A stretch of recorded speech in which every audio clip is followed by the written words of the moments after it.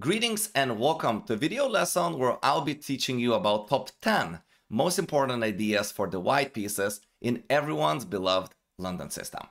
The first one. Imagine that your opponent has played c5, which is a very common move at all levels in the black setup against the London system. The purpose of this move is not only to increase the amount of pressure they're building in the center, but to prepare queen b6.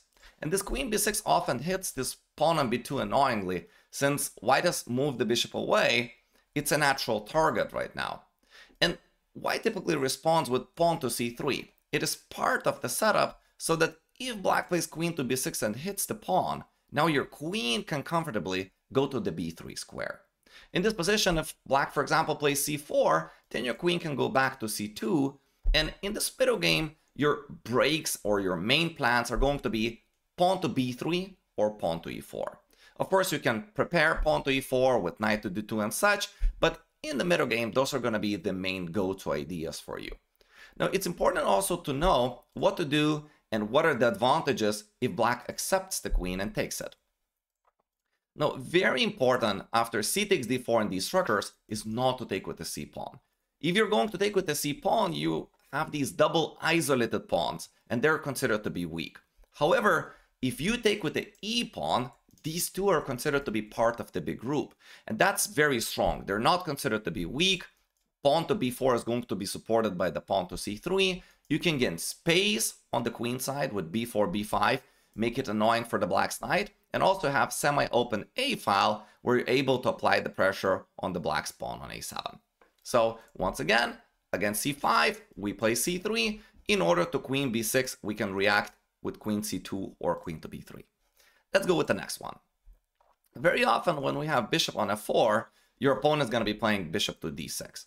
So one of the main ideas in the London here is to play bishop g3. Instead of capturing and allowing black to develop a piece, we're telling them that if you're going to be accepting the exchange and take on g3, we can take with the h pawn and now have the open h file that we could utilize. Later, we hope, of course, to apply more pressure with bishop to d3, and typically we hope to castle queen side, and later, even if possible, we want to establish our knight on e5 and expand on the king side with f4 and g4.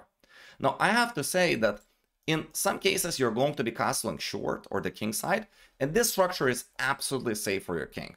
So if you see that center or the queen side is getting opened and it's dangerous to castle to the left side of the board, it's fine in the structure to be castling to the right side of the board. Now, another idea that is very common by black is to try and harass your bishop on f4 with moves like knight to h5. Against knight h5 with white, you often want to have bishop to g5 response.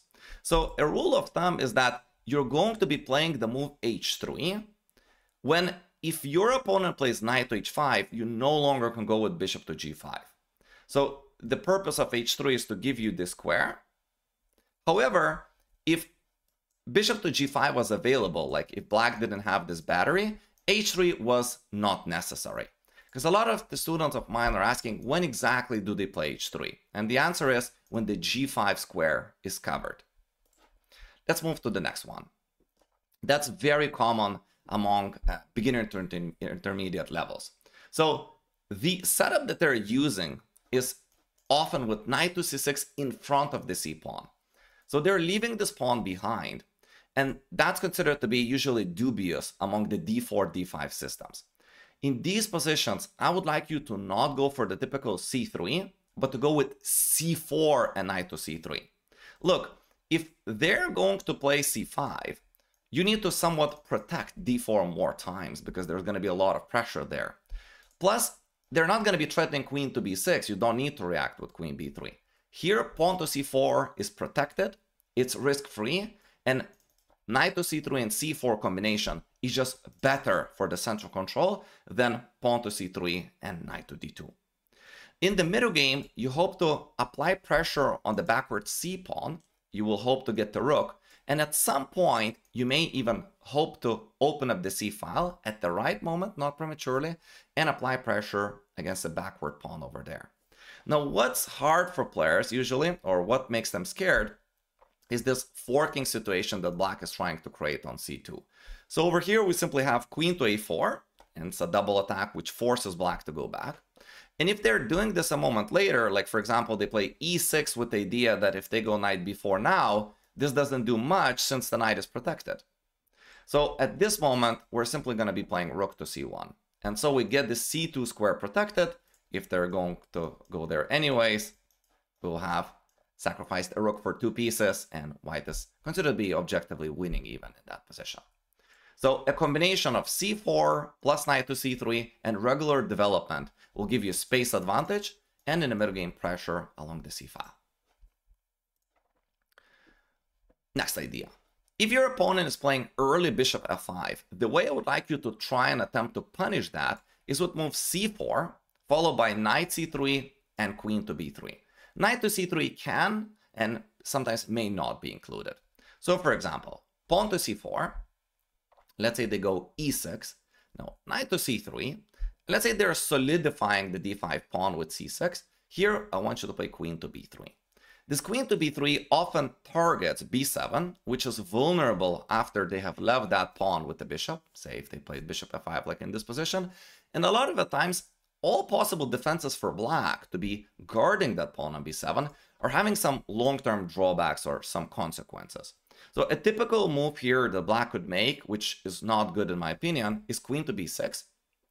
And at this moment, we're learning about idea number two, that the pawn move c4 to c5 to hit the queen, gain space, is typically good when in the middle game black is unable to strike with e5.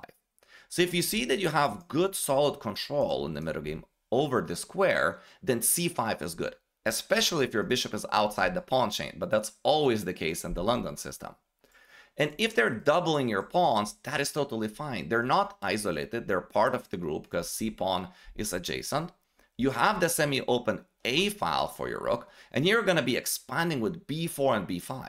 And what's nice is that this pin along the A file will allow you to easily get b5, even though it's attacked by two pawns, because they cannot take with the a pawn.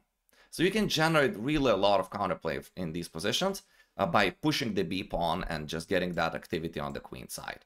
This bishop on f4 a lot of times also harasses b8 square, so that even if the b file gets opened later, they cannot be using that for their rooks. So white is considered to be much better in these positions. So remember, if early bishop f5 happens, I want you to play c4 and queen b3 with or without knight to c3 to attack b7. And when queens are facing each other, I would like you to consider c5 and play this move when you have undisputed control over e5. And don't worry about the double pawns. Next idea. It is very common in the London system to want to control e5 square, and often we even want to establish the knight there especially if your opponent, for example, say, was playing something like this, so you castled earlier, and they're threatening to play pawn to e5, you can prevent that by playing knight to e5. If they ever take, you would be taking with pawn and gaining space advantage on the king side, restricting the f6 square pieces uh, like bishop or the knight, and this can be followed often with a king side attack. So you can imagine with this bishop over here, queen goes to g4, h5, your bishop can then be rerouted to h4 and you're facilitating that wonderful kingside attack. So knight to e5, and this is often going to be supported by the pawn to f4. If black ever takes, you're going to be having the open f file that now you can use for the attack by the rooks. Next idea. When we already have played c4 and c5, uh, beginner to intermediate level players may end up in something like this, I don't want you to play typical London move like bishop to d3 or bishop to e2. Instead, I want you to go for the pin. And over here, if your opponents play a6, you can definitely damage their pawn structure with bishop c6 and follow it up with attack against that weak pawn on c6. So don't worry that typically uh, this is not part of your system. I want you to not play mechanically and always think if your opponent changes something in the position, perhaps there is a better move that tries to facilitate, capitalize on the mistake that he has made. So if he plays knight to c6 with the pawn blocked and have this space advantage, the better square for the bishop is actually here on b5 and applying pressure against it. Flexibility, being receptive, is good. Let's take a look at this one. You just had the knight on e5 and it got taken, The question is how do you take back? In the London system, we already saw that we often want to take back with the pawn.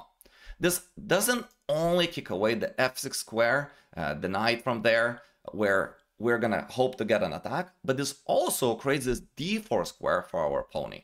So later you can move knight f3, knight d4, and after the f6 knight is kicked away, we can go queen h5 with sacrificing ideas on the h6 square. You're facilitating that attack by gaining the space advantage on that side of the board. The next idea that is very important to know are the sacrifices on h7. The bishop looking at h7 usually is what facilitates the attacks for the white pieces in the London system, especially if you still have the queens on the board.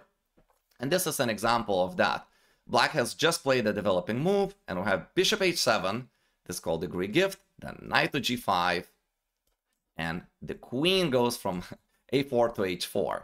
Typically, queen goes to h5 when it's on d1, but this time queen moved from left to right side of the board and checkmate is not avoidable. So white is going to win the game with queen h7. So watch out for these h7 sacrifices. Let's take a look at another example where bishop h7 is going to work. This time a little bit differently because our pawn is on h4. And we haven't castled, which means that if we land, for example, a knight on g5 and it gets taken, this helps us to apply pressure against h7 with the rook as well. So here we can play bishop h7, king takes. Then we have queen h5, very interesting. And in this position, we can play knight to f3 and go to the g5 square. And the idea is that even though knight is the one that supports the queen on h7, if they capture it, we can capture with the h-pawn, and now the rook is supporting that queen move to h7. So for example, in the game, f6 was played, and white goes knight g5 anyways yeah, like it's the Shankland's uh, rule. If they're preventing your idea, ask yourself, maybe I can do it anyways.